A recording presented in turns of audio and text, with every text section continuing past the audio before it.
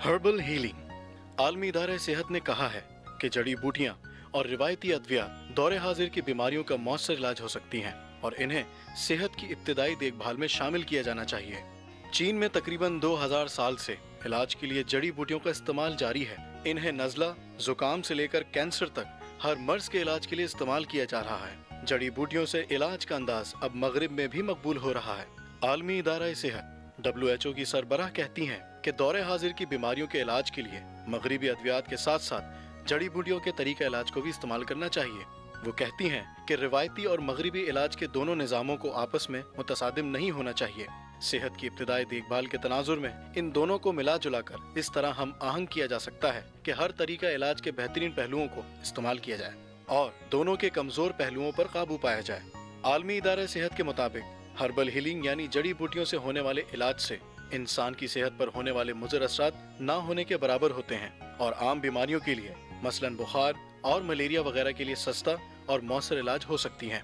Herbal healing दौरे जदीद के रहन सहन के अंदाज से जन्म लेने वाली बीमारियाँ, मसलन जयापतीस दिल के अमराज और जहनी बीमारियों को दूर करने में मदद दे सकती है दुनिया भर में तरक्की पजीर और तरक्की याफ्ता, दोनों ममालिक ही हर्बल हीलिंग से इफादियत हासिल कर रहे हैं क्योंकि हर्बल सिस्टम ऑफ़ मेडिसिन में अद्वियात का इस्तेमाल मौसम, उम्र और मिजाज को मद्देनजर रखकर करवाया जाता है।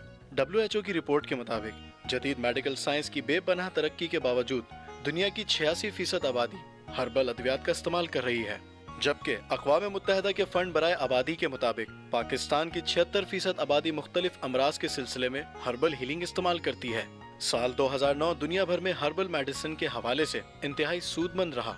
इस साल के शुरू में डब्ल्यू ने तस्लीम किया कि जड़ी बूटियाँ मौसर ज़रिया इलाज है इस वक्त पाकिस्तान, भारत, श्रीलंका, बर्मा, चीन और बांग्लादेश समेत कई तरक्की याफ्ता ममालिक में भी हर्बल तरीका इलाज को सरकारी सरपरस्ती हासिल है बरतानिया में कई फर्म्स मुख्तलिफ़ जड़ी बूटियों से दमा, खांसी, यरकान, पथरी, गिंठिए और बवासीर समेत कई और अमराज के अद्वियात तैयार कर रही हैं।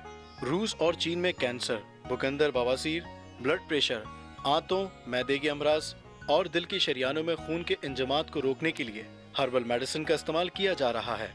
अमेरिका में जगह जगह नेशनल फूड्स के स्टोर कुदरती जड़ी बूटियों भी फराम कर रहे हैं। डब्ल्यू के मरकजी ऑफ़िस में देसी जड़ी बूटियों का एक अलग शोबा बाकायदा तौर पर दिन रात काविश कर रहा है।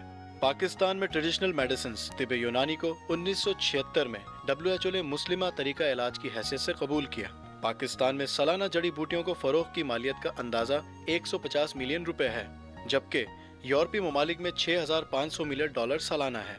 एशिया में 2300 मिलियन डॉलर शुमाली अमेरिका में 1500 मिलियन डॉलर और अमेरिका में 40 मिलियन डॉलर मालियत के हर्बल मेडिसिन का इस्तेमाल किया जाता है।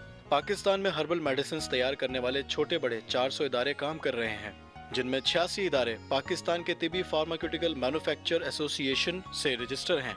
जिनमें से पंजाब में इकसठ, सिंध में तेईस, सरहद में एक और बलूचिस्तान में एक इदारा काम कर रहा है, जबकि इन अद्वियात पर रिसर्च करने वाले इदारों की तादाद आठ है।